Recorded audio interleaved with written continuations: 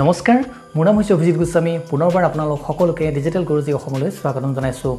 আপোনালোকে বাৰু কেতিয়াবা মোবাইলত আৰ্ট কৰি পাইছেনে? যিসকলে বাৰু আৰ্ট কৰিব জানে তেখেতসকলে বাৰু য'তে ত'তে আৰ্ট কৰি দিব। কিন্তু আপোনালোকে যদি বিচাৰিছে যে মোবাইলত আপোনালোকে যিকোনো এখন ফটো আপোনালোকে ধুনীয়াকৈ আৰ্ট কৰিব তেনেহ'লে আপোনালোকে এই ভিডিঅ'টো আৰম্ভণিৰ পৰা শেষলৈকে চাব। যিহেতু এই ভিডিঅ'টোৰ মাজতে মই কিহত এই আৰ্টটো কৰিলোঁ আপোনালোকক সবিশেষ মই জনাই দিম। আৰু এইখিনিতে মই জনাই থ'ব বিচাৰিছোঁ যে যদি আপোনালোকে আৰ্ট মোবাইলত কৰিব বিচাৰিছে তেনেহ'লে আপোনালোকে আঙুলি দি পৰে আপোনালোকে আৰ্ট কৰিব পাৰিব। নহ'লে বা বজাৰত এটা পেন পোৱা যায় যিটো নেকি আগত অকণমান ৰাবাৰ থাকে আৰু সেইটো ইউজ কৰি আপোনালোকে আৰ্ট ধুনীয়াকৈ মোবাইলত কৰিব পাৰিব। গতিকে আহক দেৰি নকৰি আমি ভিডিঅ'টো আৰম্ভ কৰোঁ। প্ৰথমতে আপোনালোকে যিখন ফটো আঁকিব বিচাৰিছে সেই ফটোখন লৈ ল'ব। মোৰ এজন ফ্ৰেণ্ড আছে মই তেখেতৰ ফটোখন আঁকিম আৰু তেখেতৰ হোৱাটছআপৰ প্ৰফাইল ফটোখন মই আজি আপোনালোকক আঁকি দেখুৱাম। চ' মই এখন ফটো স্ক্ৰীণশ্বট মাৰি ছেভ কৰি ল'ম। স্ক্ৰীণশ্বট মাৰি এই ফটোখন ছেভ কৰি লৈছোঁ। তাৰপিছতে মই এপ্লিকেশ্যনটো খুলিম। এই এপটো খোলাৰ পিছতে আপোনাৰ গেলেৰীত ফটোখন পাই যাব। গেলেৰীৰ পৰা ফটোখন লৈ ল'ব। তাৰপিছত আপোনালোকে তলত স্ক্ৰল কৰিব। যিটো ড্ৰ অপশ্যন আছে তাত আপোনালোকে ক্লিক কৰিব। ক্লিক কৰাৰ পিছত যিডাল ব্ৰাছ হয় সেইডাল আপোনালোকে চিলেক্ট কৰিব লাগিব আৰু ইয়াৰ চাইজটো টু পি এক্সতকৈ বেছি নল'ব। আৰু যিডাল ব্ৰাছ আছে সেইডাল আপোনালোকে যিটো প্ৰথমতেই যিটো দেখিছে ব্লু কালাৰ এটা বক্স বনি আছে সেইডাল আপোনালোকে চিলেক্ট কৰি ল'ব। এতিয়া আহক আমি ফটোখন আঁকা আৰম্ভ কৰোঁ। আৰু মই আপোনালোকক কেইটামান কথা এইখিনিতে কৈ থওঁ। যিহেতু প্ৰথমতে মই পইণ্টাৰ ইউজ কৰিব লাগিছিলে মই পইণ্টাৰ ইউজ নকৰিলোঁ। আপোনালোকে দেখিব ক'লা যিডাল আঁচ কৈ আছে সেইডাল মই একচুৱেলি আৰ্ট কৰিছিলোঁ। আৰু আপোনালোকে আৰ্ট কৰাৰ যিকেইটা প্ৰথমতে আপোনালোকে মন কৰিবলগীয়া কথাকেইটা হ'ল সেইকেইটা হৈছে আপোনালোকে যিটো কালাৰ ইউজ কৰে সেইটো কৰি ল'ব ব্লেক নহ'ব আপোনালোকে বেলেগ কালাৰ ইউজ কৰিব পাৰে। কিন্তু আপোনালোকে আৰ্ট কোনখন জেগাত কৰিব? আৰ্টখন কৰিব লাগিব? আপোনালোকে যিটো বাউণ্ডেৰী আছে যেনেকৈ টি চাৰ্টৰ যিটো বাউণ্ডেৰী আছে সেইটো সেইটো আঁকিব লাগিব যিটো আপোনালোকে আৰ্টত যাতে ভাল ধৰণে ফুটি উঠে। আৰু আপোনালোকে যিখিনি যিমানখিনি কোচ দেখিছে চোলাৰটোৰ যিমানখিনি কোচ দেখিছে সিমানখিনি কোচত আপোনালোকে আৰ্ট কৰি দিব আঁকি দিব তেতিয়া আপোনালোকৰ ভাল হ'ব। আৰু এই ভিডিঅ'টো যিহেতু মই যদি গোটেই ভিডিঅ'টো আঁকি দেখাওঁ আপোনালোকক তেনেহ'লে ভিডিঅ'টো প্ৰায় আধা ঘণ্টাৰ ওপৰত হৈছিলে। গতিকে মই ভিডিঅ'টো কিছু কিছু জেগাত মই অলপ স্পীডত কৰি দিম যাতে ভিডিঅ'টো অলপ সৰু হৈ যায় আৰু আপোনালোকেও চাই ভাল পায় আৰু সহজতে আপোনালোকে বুজি পায়। গতিকে আপোনালোকে চাওক কেনেকৈ আৰ্ট কৰিব পাৰি।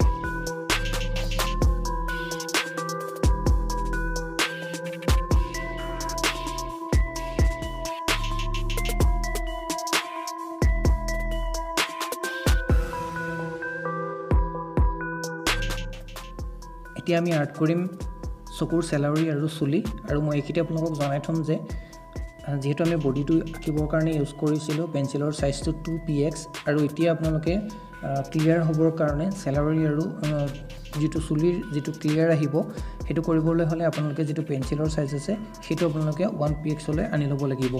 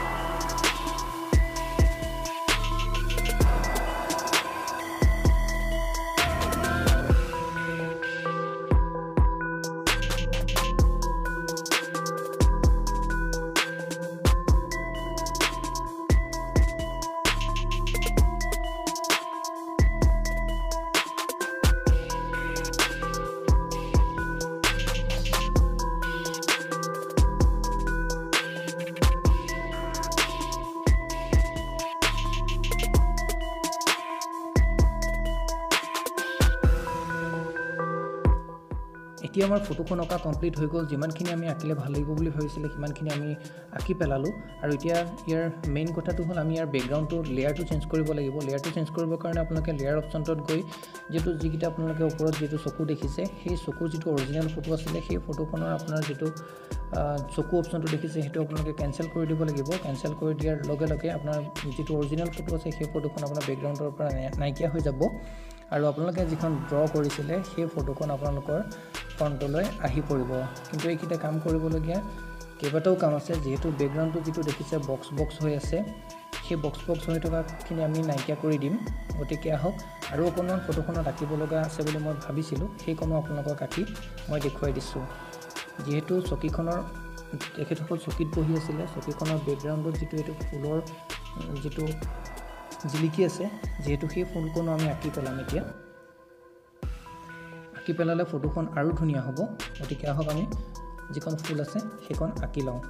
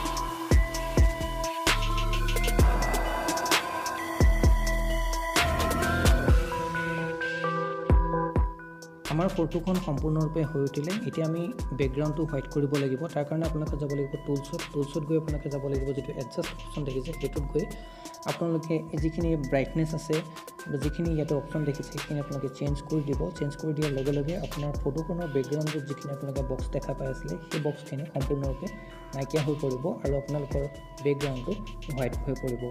আৰু এনেদৰে আপোনালোকে আপোনালোকৰ মনৰ পচন্দৰ ফটোখন আপোনালোকে আঁকি ল'ব পাৰিব। আপোনালোকে বাৰু মই অঁকা ছবিখন কেনেকুৱা পালে কমেণ্ট বক্সত মোক জনাবলৈ নাপাহৰিব। যদি চেনেলটো এতিয়াও ছাবস্ক্ৰাইব কৰা নাই তেনেহ'লে চেনেলটো ছাবস্ক্ৰাইব কৰি ল'ব। আজিলৈ আহিছোঁ। ধন্যবাদ।